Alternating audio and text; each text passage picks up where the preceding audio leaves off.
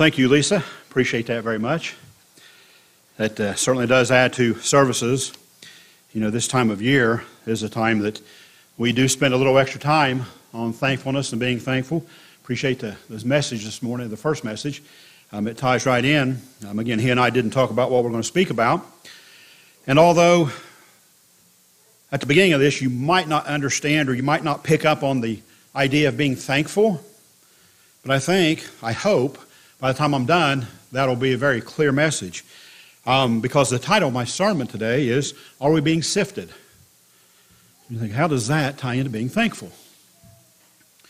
Well, when we think about troubles and trials that we all face and we all go through, and we all do face these on a daily basis, think about God and God in nature, even, and how He uses um, different things in nature to show us how troubles and trials actually make us a better person. I want to start by sharing you a little story here. You probably all have heard this before, but I want to go over it again. It's, it's very interesting. It says, One day a small gap appeared in a cocoon through which the butterfly had to appear. A boy who accidentally passed by stopped and watched how the butterfly was trying to get out of the cocoon, was struggling. It took a lot of time. The butterfly was trying very, very hard, and the gap was as little as it was when he started. It seemed that the power that the butterfly used would soon leave the butterfly. The boy decided to help the butterfly. He took a penknife and he cut the cocoon. The butterfly immediately got out, but its body was weak and feeble, and the wings were barely moving. The boy continued to watch the butterfly, thinking that now its wings would spread and it would fly.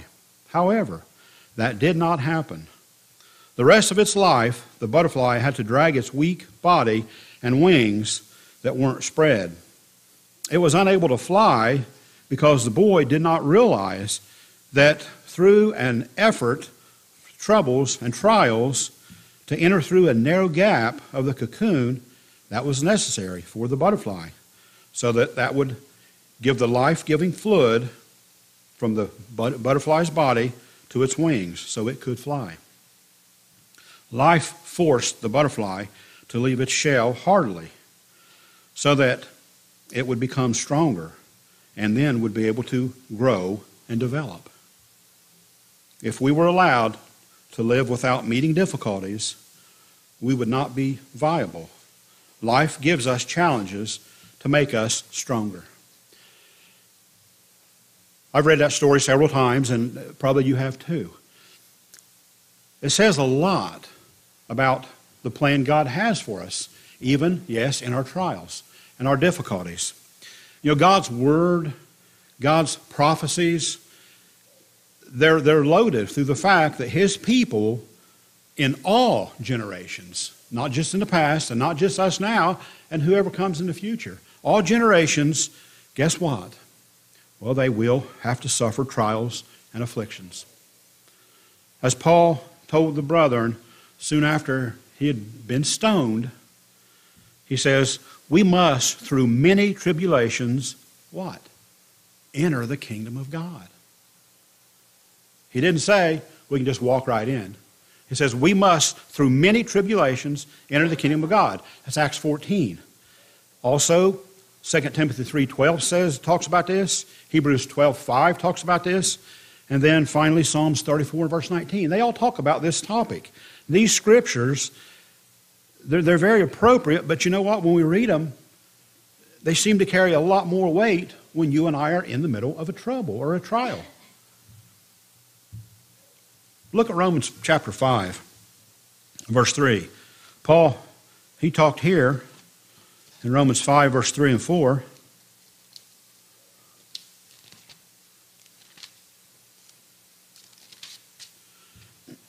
he says this that we also glory in tribulations. And this is why, knowing that tribulations produce perseverance, and perseverance, character, and character, hope. You see the, the ladder that he put in front of us? So this is it. We have to glory in tribulations because if we go through our tribulations and we take them and we have success in them, this is what happens. You know, we must come to understand that it is our trials, brother, our trials, helps us to grow in patience. And patience is extremely necessary in our spiritual life. You know, as humans, you know, we, we don't like to wait. we don't want to wait on things. We don't really have a lot of patience. You know, there's some that do, but a lot of us don't. Notice what Peter said in 1 Peter chapter 1. 1 Peter chapter 1, look at verse 6 and 7.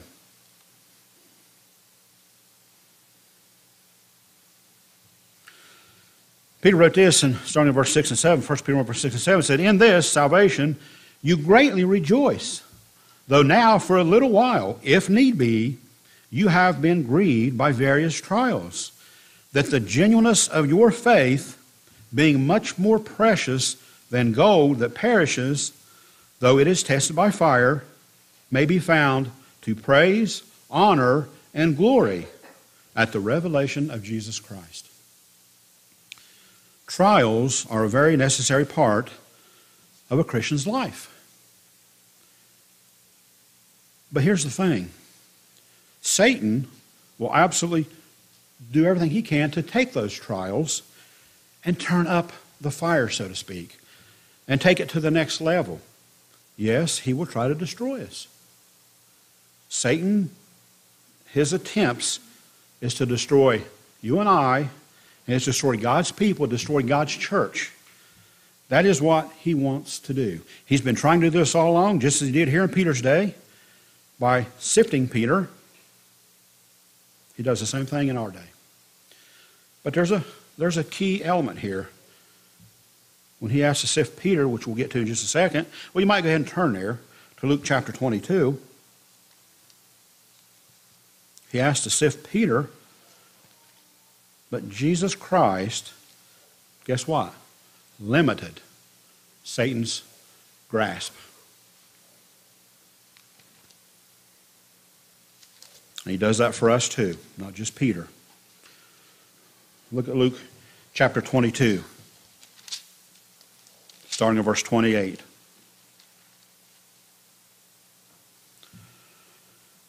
He says, But you, and, and listen to what uh, Christ is doing here, how he's setting this up. He says, But you are those who have continued with me in my trials, and I bestow upon you a kingdom, just as my Father bestowed upon, one upon me, that you may eat and drink at my table and sit on thrones, judging the 12 tribes of Israel.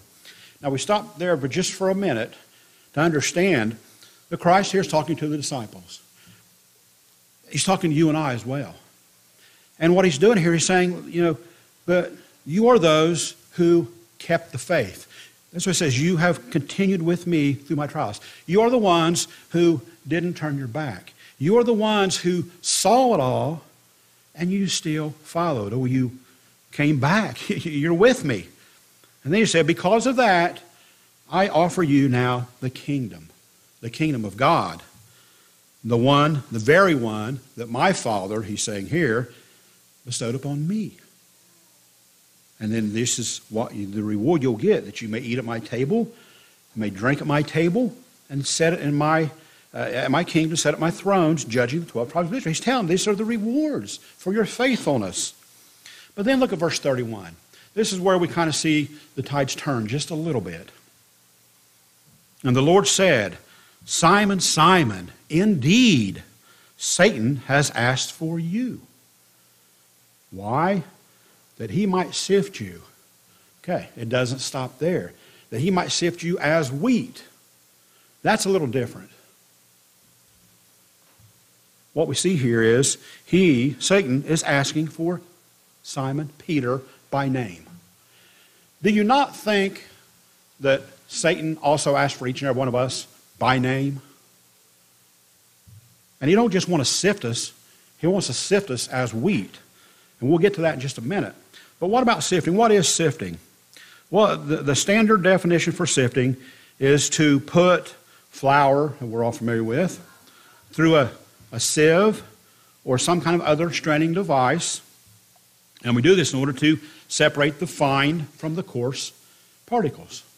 That's one definition. Another one is to apply by scratching with or as with a sieve. Okay, or scattering.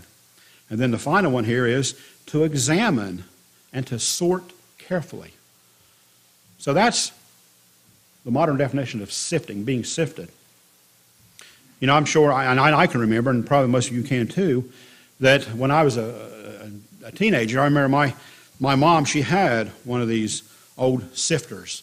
You know, they were the little can style sifter, had a handle on it and a crank on the side, and had a, a, a wire inside. And you crank that thing, and a wire would go and hit a screen on the bottom of it. And we had the flour in there. The faster you cranked it, it would just, flour would just come through that. But it was fine, really fine particles of flour. And when it was finished, anything that wasn't pushed through the sifter, it would be on top. It would be left to dispose of. And I remember that. You know, flour wasn't as fine in those days as it is now, so it always needed to be sifted. But the process of sifting here that Christ was warning Peter about, he says, Satan wants to sift you as wheat. Well, that was a little different. It was much, much more intense. You could almost say this was a violent process. This here was an action that was used to separate the grain from the stalk and the, the chaff using a threshing machine, very much like we see a combine in the fields today. It tore the wheat apart. It didn't just gently press it, it tore it, it ripped it apart, and it would separate the valuable portions from the worthless portions. As a Christian, you and I, as children of God, our lives are placed through a sifter every day. And with each new day, that crank is turned and it's turned a little bit faster and a little bit faster. And what it does, it takes our rough edges, at least that's how it should be, it takes our rough edges off. It helps the rough edges to disappear, and it helps the finer parts of our spirituality of the new man, if you will, come forward. The coarse parts of our sinful life are left on top and then dumped out. That's how the sifting should work. But on the other hand, Satan here, when he goes to Christ and he asks for you and I by name that he can sift us, his desire is to totally destroy us. He don't want to separate the rough from the fine and keep the good and get rid of the bad. He wants to totally destroy us. He wants to sift us to the point that we are completely, number one, discouraged. Number two, distracted. Number three, lost our commitment. And finally, completely destroyed. That is his goal. The thing about him is, he is always, always standing before God the Father in heaven, pointing his fingers of accusation against all of us as children of God. He's reminding God of every simple thing that we have ever done. The beauty of it is, God says, once we ask for repentance, you're forgiven, and He forgets. Satan comes back and brings it up again again. Look quickly at Revelation chapter 12. Revelation chapter 12 and verse 10.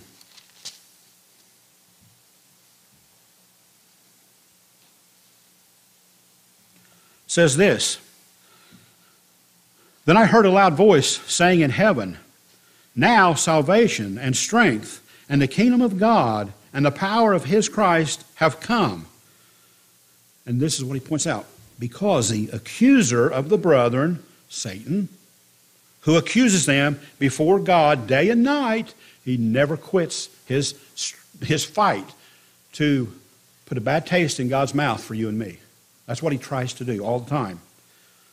But look at the last few words has been cast down. It's very, very true when God says, if you repent, which repent means change, turn, go the other way. If you repent, ask for forgiveness of your sins, He will not only forgive them, but forget them. It's very helpful in talking about this to consider why Satan would focus his attention on you and I, who, I mean, think about it. We were called the weak, the base, you know. We're not really what the world desires to, to, to be. None of us, uh, or very few of us, are, are elected officials. I don't see any President of the United States sitting in here. Well, the answer ties directly to the question. The question why was he so anxious to have access to Peter? He asked for Peter by name. Now, all the disciples were there. He asked for Peter by name. Well, one of the reasons for this is because very clearly Satan was listening. He was listening to Jesus Christ when he made this statement in Matthew 16 and verse 18. Matthew 16, and verse 18. Satan was paying attention. Look what he said. Christ said, And I tell you that you are Peter, and on this rock I will build my church, and the gates of Hades, the grave, will not overcome it. You know what that means? that right there was a message to Satan himself. The gates of Hades, the grave, nothing will overcome God's church. And that was a strong warning. And he, as his first said, I tell you that you are Peter, and on this rock I will build my church. He was establishing the New Testament church of God. Peter was a foundational part of this establishment. This is why Satan wanted to sift Peter. That's why he started with Peter. He wanted to break Peter, he wanted to destroy Peter. And he certainly wanted to destroy the church. Brethren, you and I are the church. The church is not a building, it's you and I.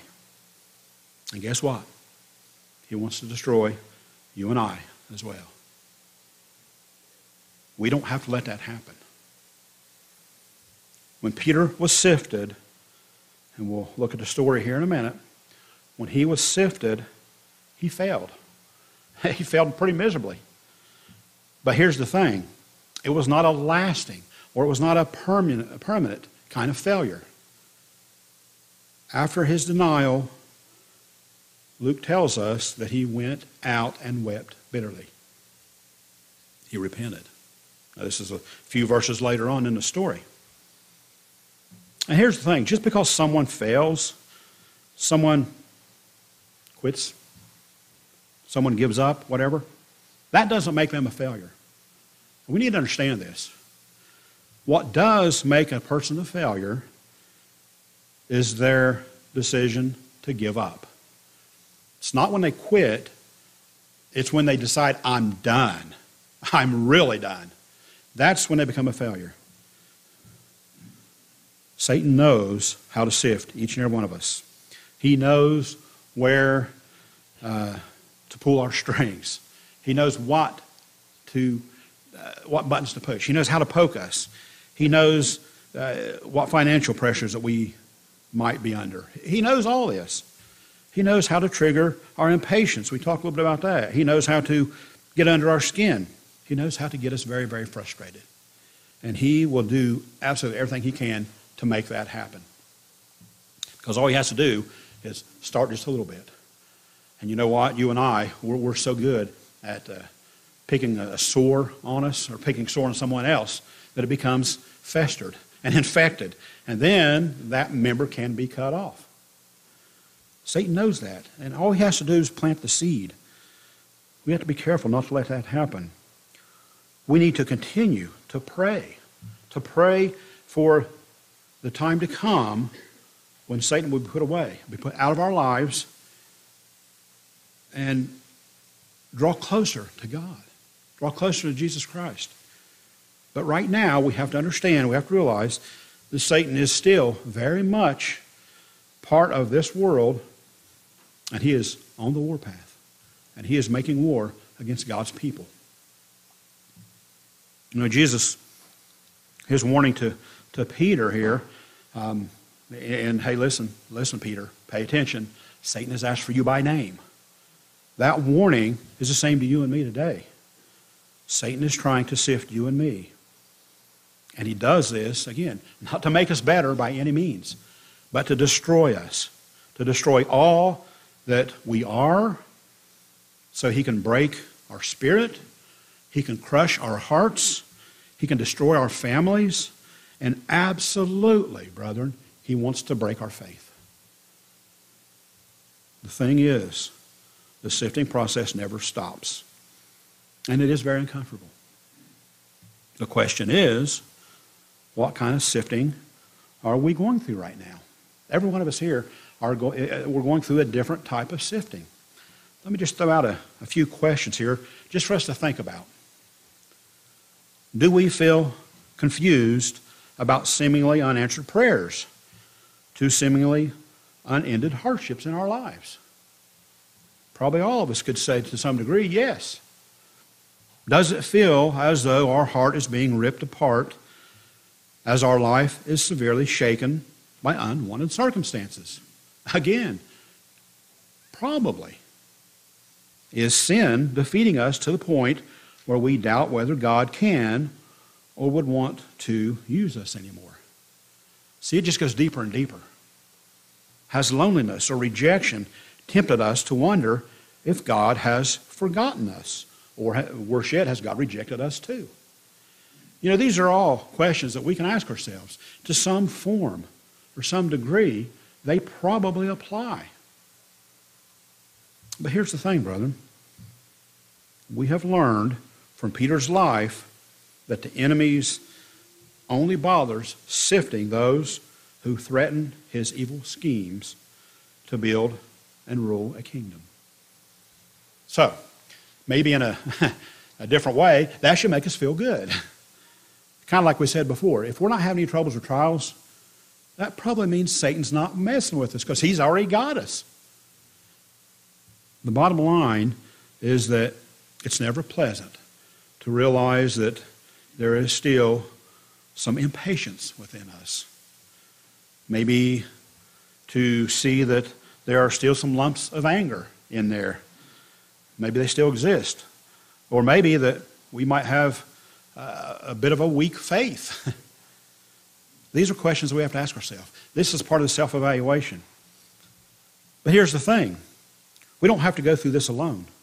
We have an advocate with God the Father. And that we'll see that. Go to 1 John chapter 2.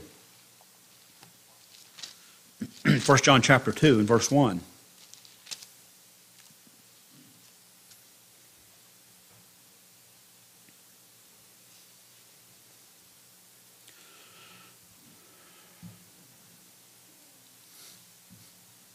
1 John chapter 2 and verse 1 says this My little children, these things I write to you, so that you may not sin. So he's telling us, pay attention here. This is what I'm telling you. And if anyone sins, we have an advocate with the Father. Who is it? Jesus Christ the righteous. And he himself is a propitiation or the atonement for our sins and not for ours only, but also for the whole world. This should encourage each and every one of us, no matter where we find ourselves, no matter what trial we find ourselves in, to hold on to this promise and use it. Join me in Luke chapter 22 again. And notice what Christ said to Peter after he gave him this warning.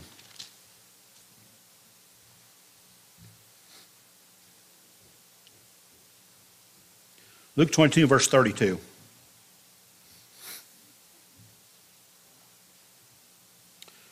He said, But I have prayed for you that your faith should not fail. And when you have returned to me, strengthen your brethren. But did you catch that? He said, I have prayed for you that your faith should not fail. We talked about failing. Failing is not having a bad day or slowing down Failing is rejecting God. When we say, I'm done, I've had enough, that's failing. Christ here knew that this sifting would be so severe to Peter that he prayed for Peter not to reach that point in his spirituality. Don't go that deep. Yeah, you're going to have a bad day. you're going to have a few bad days. But don't allow it to go that deep. He said, I prayed for you that your faith should not fail. And then look what he said here. And when you have returned to me, strengthen your brethren. That is a prayer of faith. Christ is not just any defense lawyer who stands to our defense. He holds, if you will, the title deed to our eternal life. We belong to Him. And here's the, here's the, the great news Satan can't touch any of us without permission of our owner. That is why Satan first asked Christ for Peter by name. He had to have permission to do what he was about to do. Same thing when he went to God on for Job. So, what has Jesus Christ done for us in order that he can stand in our defense? Well, we all know uh, the one word answer to that is the crucifixion. All of that, everything there that he went through.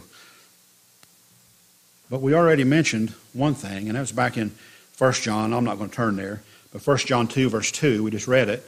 He was our propitiation. Or, in other words, he was our atonement, or he was our sin offering. So, what 1 John 2 2 says. Christ is a propitiation for our sins, and not for ours only, but also for the sins of the whole world. Let's look at just a few more of these that he not only did, but is still doing for you and I on a daily basis. Go, go to 1 Corinthians chapter 1.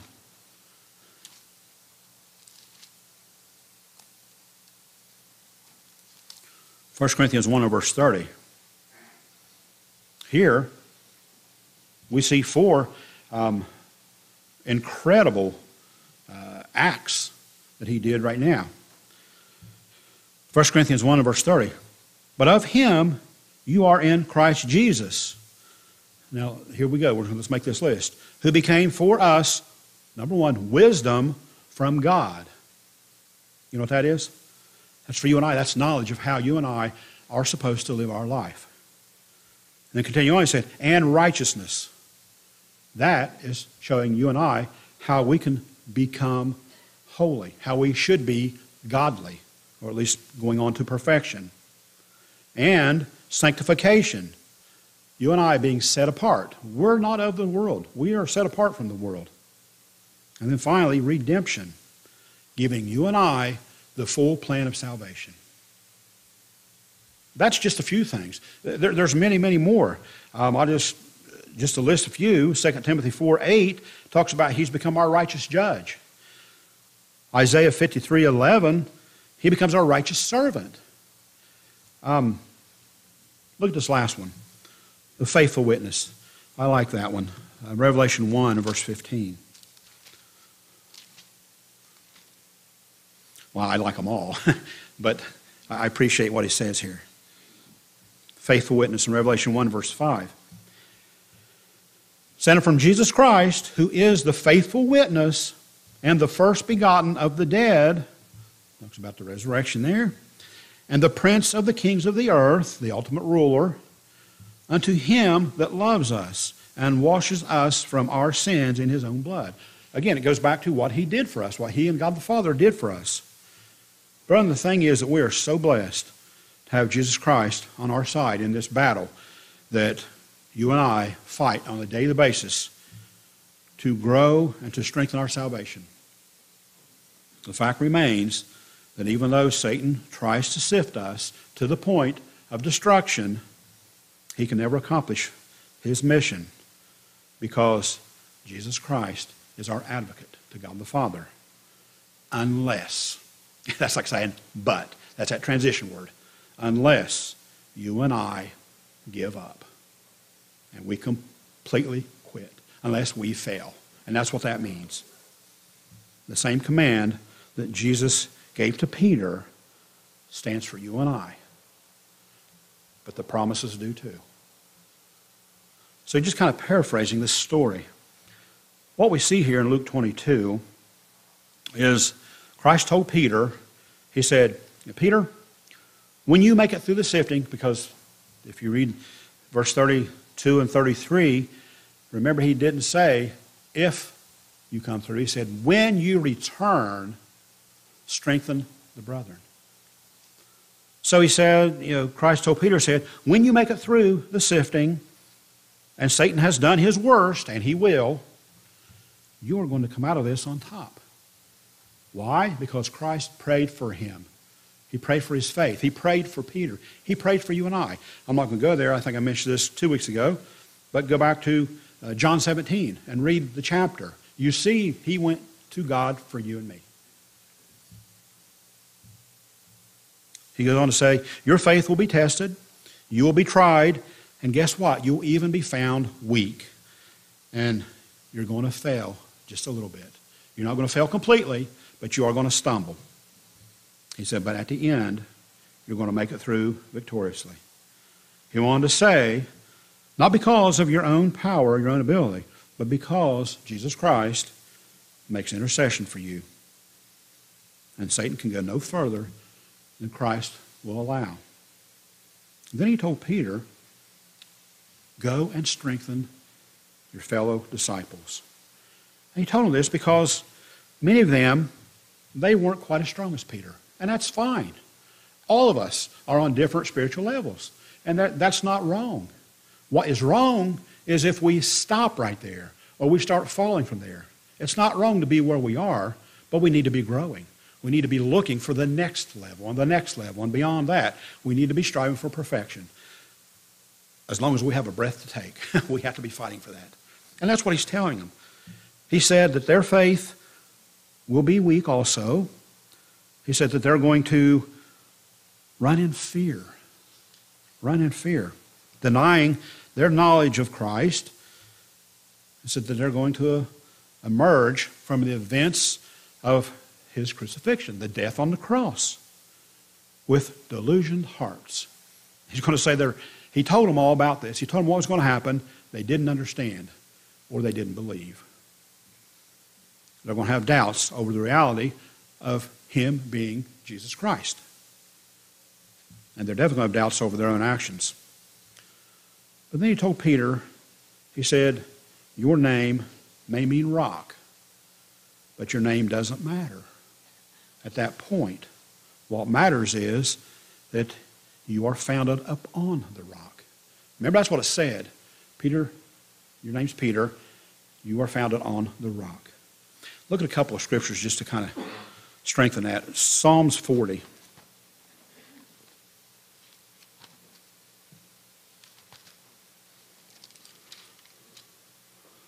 Verse 2.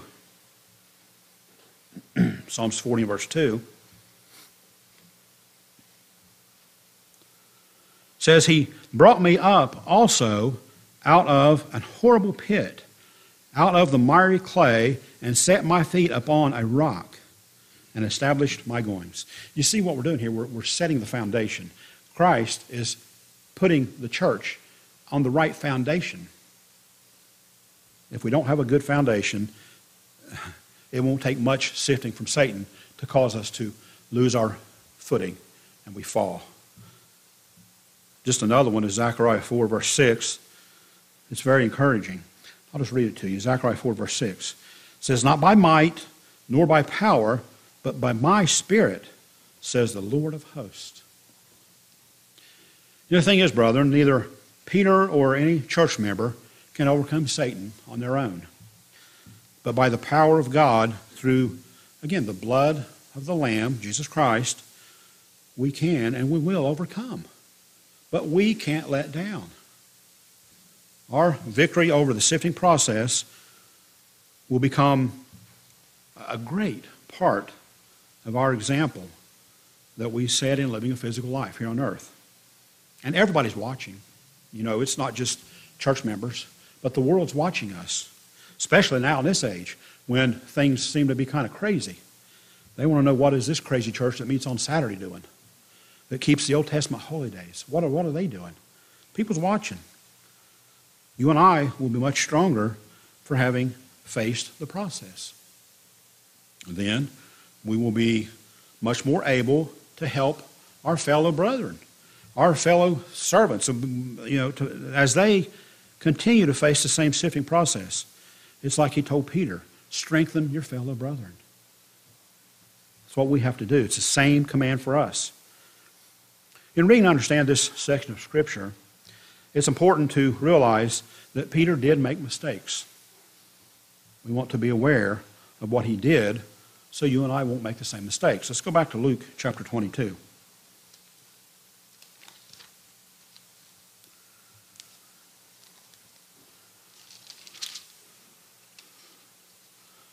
Luke chapter 22.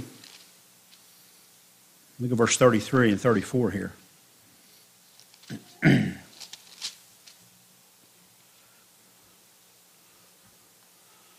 Verse 33 But he said to him, Lord, I am ready to go with you, both to prison and to death. Now, can you imagine that?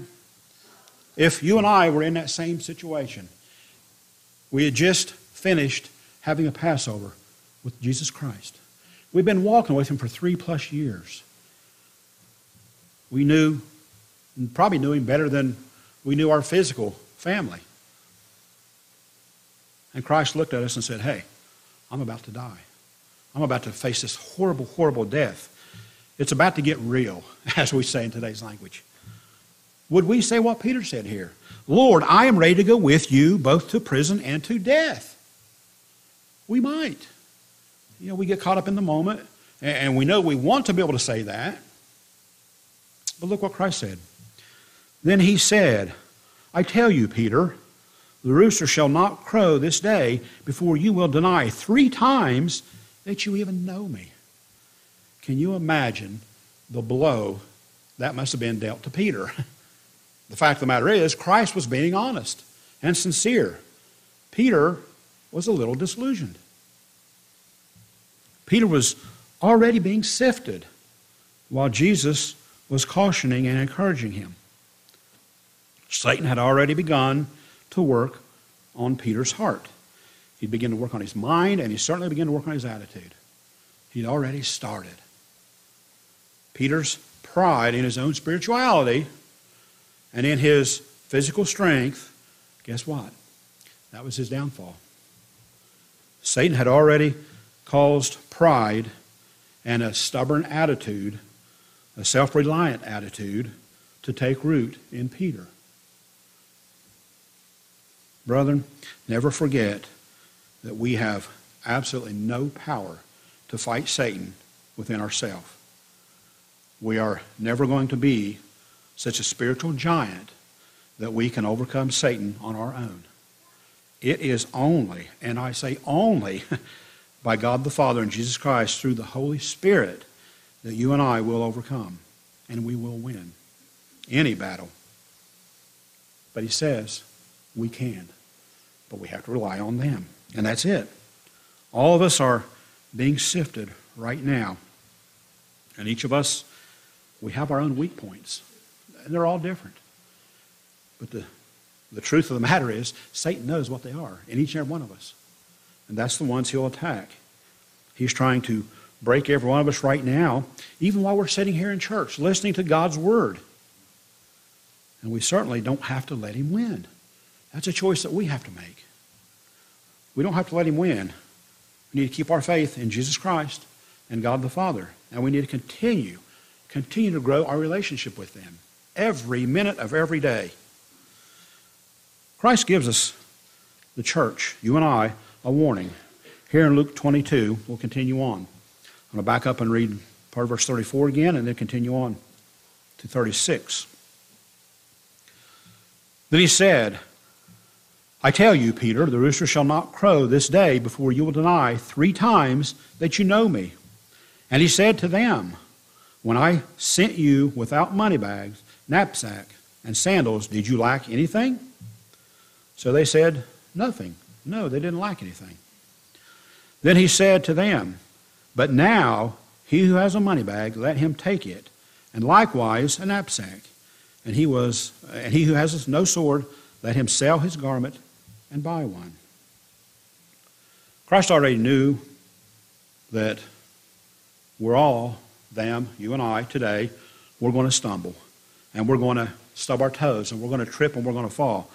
Um, over whatever test comes our way. He knows that. He already knows that you and I are not strong enough to resist this sifting process on our own. Otherwise, he would not have made a prayer for you and I. He did on more than one occasion. Jesus knew Peter was going to deny him. He knew Peter was going to fall. He knows you and I just as well as he knew Peter. But Jesus also knows that the Father in heaven will hear his prayers, and he will not allow us to fall again unless we completely give up and we completely turn our backs on God. If we don't do that, he won't let us fall. And I can't stress that enough, brethren. Turn with me, if you will, back to John chapter 10. Verse 28 through 30.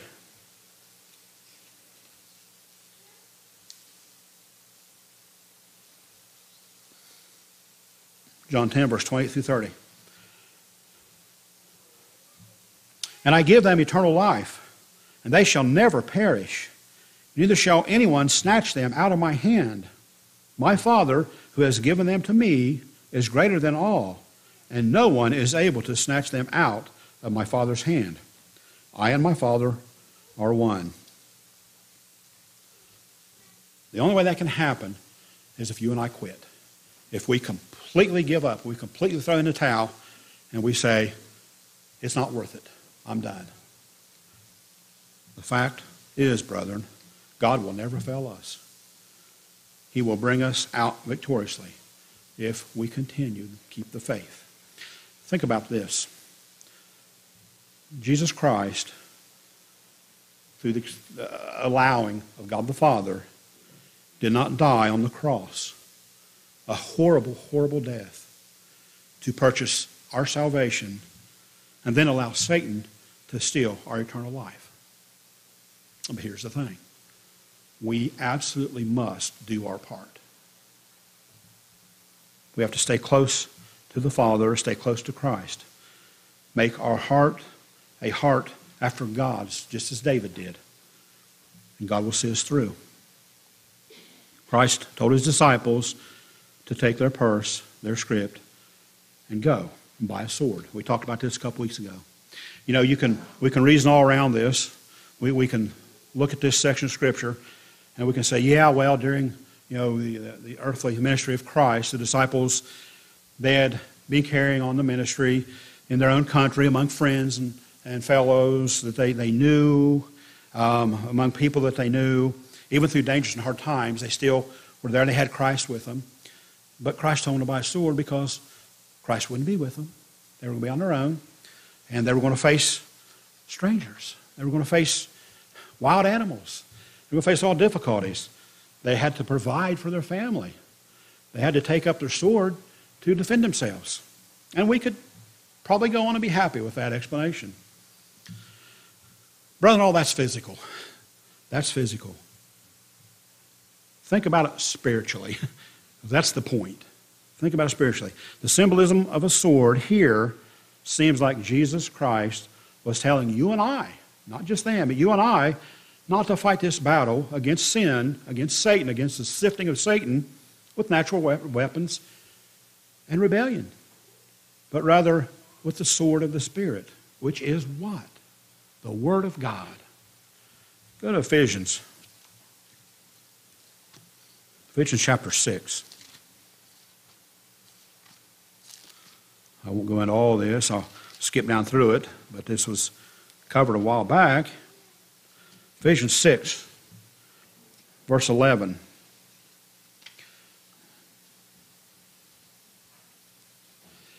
says, Put on the full armor of God so that you can take your stand against the devil's schemes. For our struggle is not against flesh and blood, physical, but against the rulers, against the authorities, against the powers of this dark world, against spiritual forces of evil in this heavenly realms. Therefore, put on the full armor of God so that when the day of evil comes, you may be able to stand your ground. There's the spiritual fight. We have to be able to stand to fight spiritually. And after you have done everything, to stand. That means to have success in our spiritual fight. We have to stand to fight spiritually, and we have to do it so hard and so valiantly that when it's over, we will still be standing. Stand firm then with the belt of truth buckled around your waist, with the breastplate of righteousness in your place, or in, in place, with your feet fitted with readiness that comes from the gospel of peace.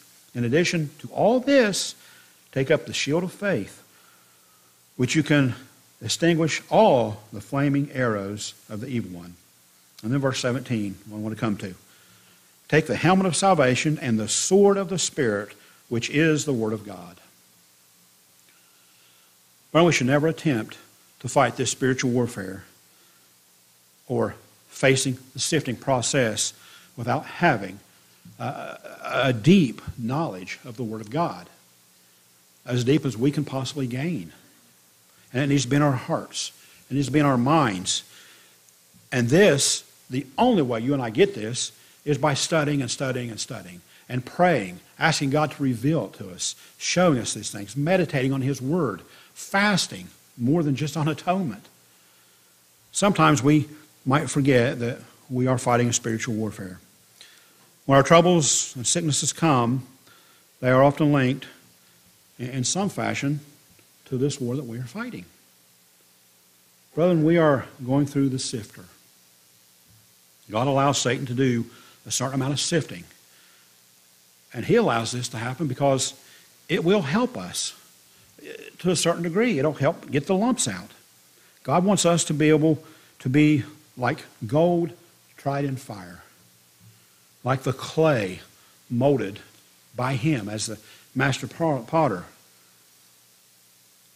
God wants us to keep the faith, and he wants us to never stop. When the sifting process is pressing down hard on us and the grading away at our character is right there and it's painful and it seems that you and I, brother, we can't we just can't stand it any longer. Remember Romans 8, 28. You probably all know this by heart. We'll take a quick look at it. Romans 8, 28. There's a certain word in here that I want to go into. Romans 8:28 says, "And we know that all things work together for good to them that love God." A lot of times we stop right there. But it doesn't stop right there. To them who are called according to his purpose. Not called according to what you and I think or you and I's purpose or what you and I believe, but who are called according to his purpose. Our calling is a gift from God. He sacrificed a lot for you and I to have this. A lot of times, we should never throw this gift away and definitely don't make light of it.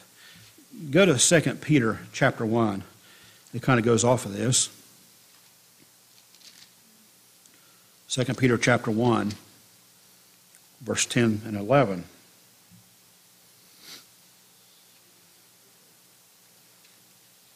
Peter here kind of added to what Paul was saying when he said this in verse 10 Wherefore, the rather, brethren, give diligence to make your calling and election sure. You notice what he said there? He said, Give diligence to make your calling and election. He, said, he didn't say, Step back and let Jesus Christ and God the Father do all the work. Let them do the work for you. They gave you the calling. Let them make sure that nothing happens. He says, Give diligence to make your election, or your calling election sure. And he goes on to say, For if you do these things, you shall never fall. Now, he's talking about you'll never fall, completely lose faith, and lose hope, lose your eternal life. He knows you're going to stumble. I'm going to stumble. We're going to stumble. We're going to stub our toes. But he says, if you do these things, you'll come out on top. He says, if you do these things, you'll do exactly, this is Peter talking, he says, you'll do exactly what Christ told me right after the Passover. He said, You're going to be sifted. It's going to be tough. It's going to be hard, but I've prayed for you, and you will survive. You won't just survive, you will come through victoriously. And then you can teach the rest of them. That's what he's saying here. If you do these things, you shall never fall. You'll never lose faith. He's going to say, For so an entrance shall be ministered unto you abundantly into the everlasting kingdom of our Lord and Savior, Jesus Christ. That's another promise that if we keep the faith, the kingdom awaits. There is the great promise, brethren. There is the hope. Remember, we talked about the, the building the ladder, perseverance ends in hope. It says, We shall win. The thing is, if we don't quit, we don't give up, we don't fail physically, we have eternal life waiting on us. What a, a better hope does anybody have? Just think about this. God has established our way, and He designed an eternal life for you and I with Him, Jesus Christ, and all the other saints in the kingdom. Just think about that. If you ever need something to meditate on, meditate on that. That is His hope for us. You know, we talk about our hope. What's my hope? Well, that's my hope, yes, but that's also God's hope. God's hope for you and I to be there. He, his hope is for all mankind to be there. One day soon, brethren, the sifting process will end. And Satan will have done his worst to each and every one of us. It's happening. But our advocate, Jesus Christ, who is our eldest brother, he will help all of us along the way to give us every opportunity, every bit of inspiration that you and I need to win this spiritual battle. If, and there's that big word again, if we remain faithful and committed, not just today or tomorrow, but to the very end. And if we do this, you know what? We have absolutely nothing to fear. The kingdom of God awaits. What a, what a better picture can we have? Yes, Satan is sifting us now, but he will be utterly crushed and he will be cast into outer darkness. That's his fate. Does not, absolutely does not have to be our fate. When it seems that you and I, we've been hit and tried and sifted and we can't go another mile, maybe even not another step, that all of our efforts for the work of Christ are in vain and that we are going down the last time when all this seems to happen, and it does. Remember this last scripture. Go to Luke chapter 21.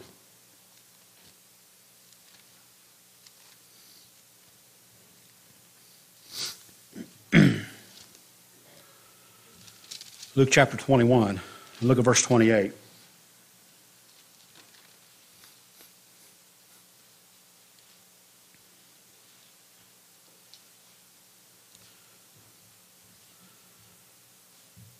Says, when these things begin to happen, so he's got our attention. When these things begin to happen in our life, he's talking to us personally. He says, Stand up and lift up your heads because your redemption is drawing near. What a great promise. What encouragement. What hope. I want to finish, as I started with a story, I want to finish with a story. And you may have heard this one as well, but it talks again to what we've talked about today. And it's called the teacup. There's a story of a couple who went to England to celebrate their 25th wedding anniversary. They both liked antiques and pottery, especially teacups. Spotting an ex- uh, exceptional cup in one shop, they asked, May we see that? We've never seen a cup quite so beautiful. As the lady handed it to them, suddenly the teacup spoke. You don't understand, it said. I've not always been a teacup. There was a time when I was just a lump of red clay.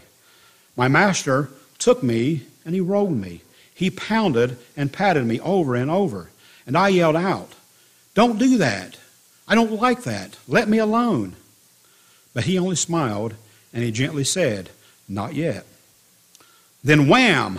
I was placed on a spinning wheel. And suddenly I was spun around and around and around. Stop it! I'm getting dizzy.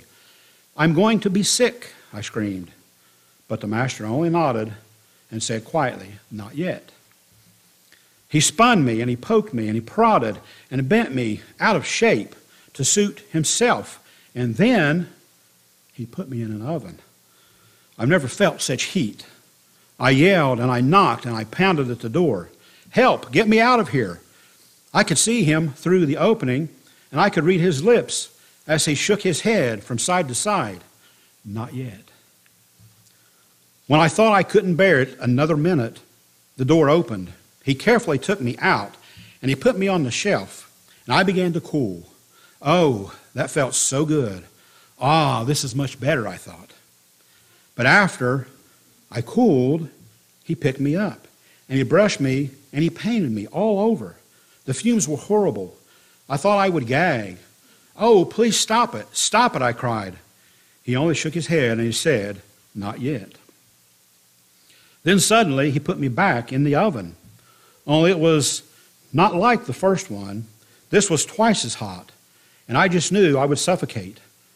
I begged, I pleaded, I screamed, I cried. I was convinced I would never make it. I was ready to give up. Just then the door opened, and he took me out and again placed me on the shelf, where I cooled and waited and waited, wondering, what's he going to do to me next? An hour later, he handed me a mirror and he said, Look at yourself. And I did. I said, That's not me. That couldn't be me. It's beautiful. I'm beautiful. Quietly he spoke. I know it hurts to be rolled and pounded and patted, but I had to but had I just left you alone, you would have dried up. I know it made you dizzy to spin around on the wheel, but if I had stopped, you would have crumbled. I know it hurts, and it was hot and disagreeable in the oven, but if I hadn't put you there, you would have cracked. I know the fumes were bad when I brushed and painted you all over, but if I hadn't done that, you never would have hardened you would have not had any color in your life. If I hadn't put you back in the oven a second time, you wouldn't have survived for long because the hardness would not have held. Now you're finished, a finished product. Now you are what I had in mind when I began with you the first time. Brethren, God knows exactly what He's doing with each and every one of us in our lives. As we said, He's the potter, and we are His clay. He will mold us and He will shape us through everything that comes with that. And He will expose us to just enough pressure. He will allow us to be exposed to just enough pressure, just enough trials, just enough troubles in our lives of the right kind. And that seems odd, but that's what He does. Just to make sure that when we're done, that you and I are flawless, that we are the piece of work of His work to meet His pleasure and to meet His perfect will. So through life, no matter what, let's always, always commit to enduring to the very end.